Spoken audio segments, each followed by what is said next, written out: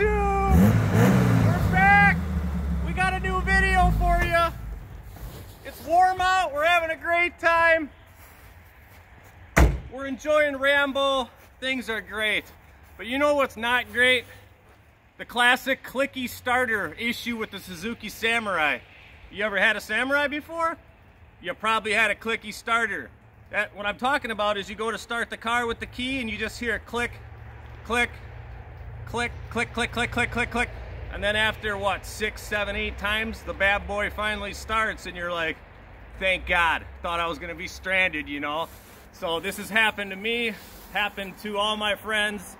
It's classic problem for 20 years. There's uh, various ways to band-aid the issue, but we're gonna show you how to clean out the ignition switch and do it the right way and get your contacts all cleaned up so you can avoid that embarrassing click, click, click, click, click, click, click, click, click, because that sucks, man. We're talking Samurais, they're reliable as hell.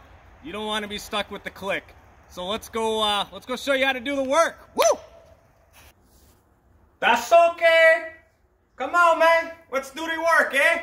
So this is a job you can do in the vehicle. You do not need to remove the ignition switch, but I'm, for video purpose, I have an ignition switch removed, so it'll be much easier and clear to see. If you're gonna do this project while it's in the vehicle, you'll need a Phillips head screwdriver that has a, a, a 90 degree bend, really helps because you're gonna be up behind the, the console there and you're gonna be pulling out that screw, which I'm about to show you. So this you'll need if you're gonna be doing it in the vehicle or at least a stubby Phillips head. Otherwise, these are the basics of what you're gonna need here. We've got our ignition switch removed. We've got a pick or a small flathead screwdriver will also work.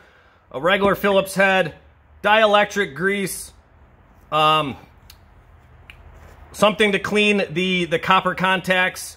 So we've got our, our cleaning agents here, steel wool, and this is a little more abrasive scrubbing brush that I that I got here. Paper towel, Miller High Life. Yeah. So let's get into it. So first thing we're going to be doing, this is what you're you're removing. This is the actual the actual part of concern. So you got a Phillips head screw right there, which again you'll be using this, and you're that's what you're reaching for in the back. But for the video, we're pulling out your your Phillips head come out real easy because it's just going into plastic. Now your ignition, ignition cylinder, we don't need that for the rest of the video. So now this is what we're working on. What we need to do is separate the black plastic from the white plastic. And there's several ways to do it. Um, you basically need to loosen up these clips. A lot of times I just get a, a real sharp little, little prick nasty in there and I'll just pop it out. Prick Nasty does it again. So now, this is the issue. We've got some uh, some dirty contacts. This one's not terrible. Yours will probably look way worse.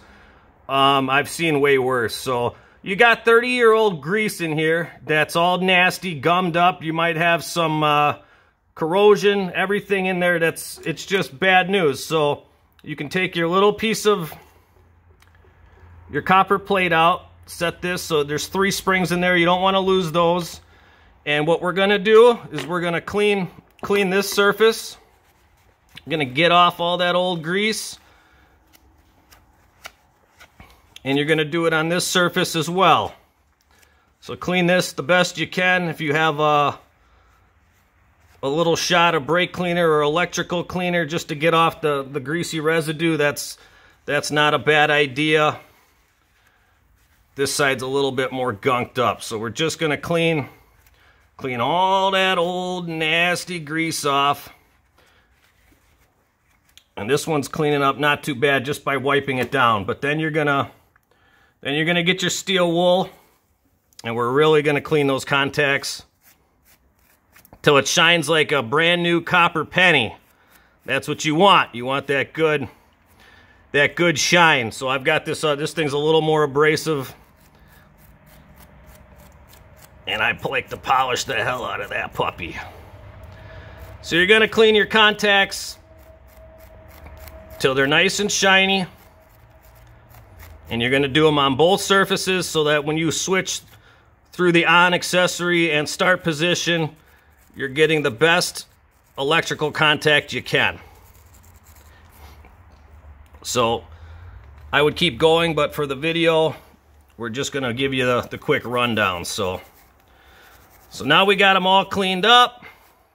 I'm gonna give them one more wipe down again. If I was doing this on my own where I'm not on camera, I'd spend a little more time, get them cleaned up.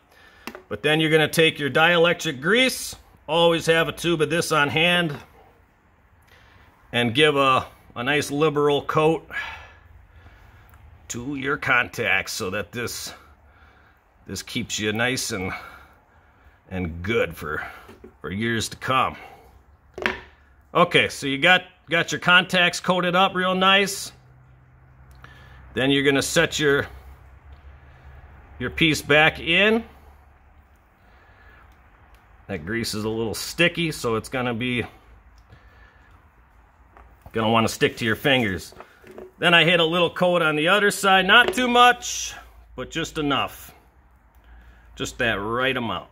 So okay, you're basically done now. You got your your contacts lubed up, and then you just got to line up this ear with the big the big slot in there. And you basically just pinch your switch back together. She's back together. Make sure it's you don't want to crack any of this white part of the plastic because then this will be loose if you do that. I would recommend replacing it. But this is nice solid. There's no no free movement in there. Then you're going to basically just put your, your switch back in. Take your Phillips head, tighten her back in, reinstall it, or if it's already installed in the video, at this point, you're, you're done. You can plug it back in and uh, hit the key, see what happens. Some guys will probably say, hey, you should have disconnected the battery first. Well, you could do that. Sometimes we don't. You know how it rolls around here.